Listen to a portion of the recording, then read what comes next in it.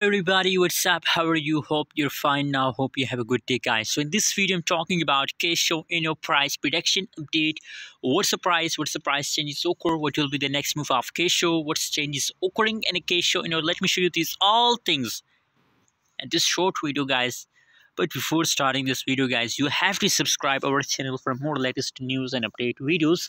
Uh, let's start the video guys. First of all i recommend for all of you that if you have any plan to invest in a cryptocurrency so don't wait more. Just right now buy now Kishu Inu token guys or any coin uh, you like any coin buy now but now. I said you now buy now because today guys on 19 december uh, from 19 december every coin start positive changes guys. Every coin start positive changes guys. So every coin you're holding you want to buy.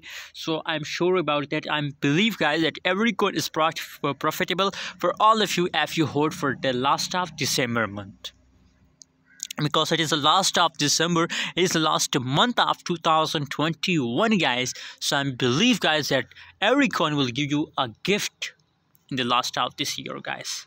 That is the happy new year gift guys.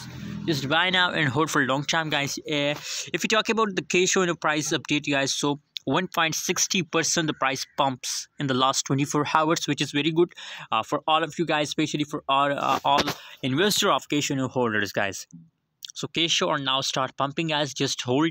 Don't do this mistake and don't decide to sit guys. That's my opinion. That's my recommendation for all of you. Thanks for watching guys. Don't forget to subscribe channel for more latest news and update videos.